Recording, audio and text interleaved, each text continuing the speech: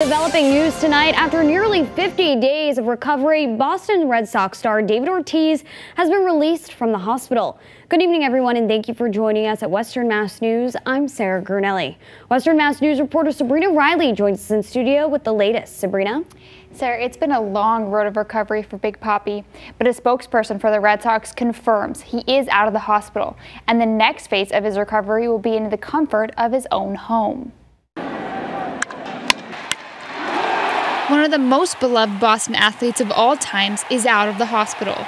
Amazing news! That's fantastic news! According to ESPN, David Ortiz was released from Mass General Hospital on Friday, nearly 50 days after he was admitted.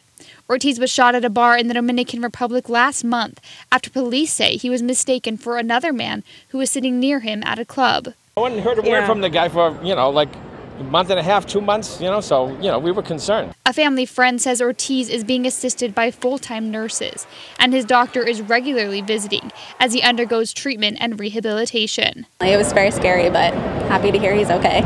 But the extent of his condition still remains a mystery.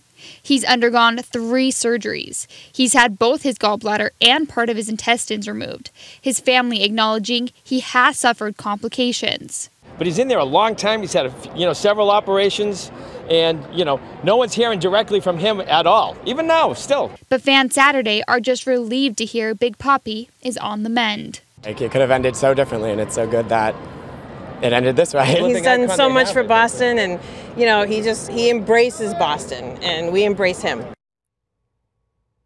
The Red Sox organization says they will have an update on Big Papi's condition early next week. In studio, Sabrina Riley, Western Mass News.